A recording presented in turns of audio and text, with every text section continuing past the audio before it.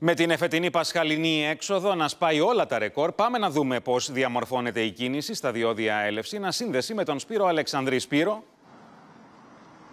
Καλό μεσημέρι Μάρκο και χρόνια πολλά. Περισσότερα από 325.000 ήταν τα οχήματα που έφυγαν από την Αθήνα το διάστημα της Μεγάλης Εβδομάδας. Πρόκειται για ρεκόρ πενταετίας, 8% αυξημένη η κίνηση σε σχέση με το 2019, ενώ αντίστοιχα με τα νούμερα τα περσινά είναι τουλάχιστον πέντε φορές παραπάνω τα οχήματα που έφυγαν. Βρισκόμαστε στα διόδια της Ελευσίνας. Η εικόνα εδώ σήμερα είναι αντίθετη με αυτή που βλέπαμε τις προηγούμενες ημέρες που είχαμε ουρές ε, χιλιόμετρων να εκτείνονται εδώ. Ε, ωστόσο η κίνηση συνεχίζεται, βλέπετε υπάρχει κανονικά ροή. Ωστόσο σε μια είδηση της τελευταίας στιγμής στο ύψος της Κινέτας Είχαμε μια ανταλίκα η οποία εξετράπει της ε, πορείας της και έχει δημιουργηθεί μποτιλιάρισμα από ό,τι πληροφορούμαστε πιο πίσω.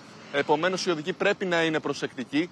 σω φανεί, σιγά σιγά βλέπω ότι αρχίζουν να, να υπάρχει μια συμφόρηση εδώ στα διόδια.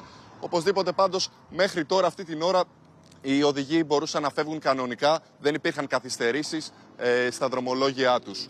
Είδαμε και τα πλάνα με την Νταλίκα, η οποία εξετράπει τη ε, πορεία της, δημιουργώντας ουρά χιλιόμετρων. Πάντως η εικόνα είναι αισθητά βελτιωμένη, δεν έχει καμία σχέση με αυτά που βλέπαμε χθες, με τις ουρές χιλιόμετρων. Όπου φύγει, φύγει λοιπόν μετά από δύο χρόνια περιορισμών. Σπύρο Αλεξανδρής, ευχαριστούμε πολύ.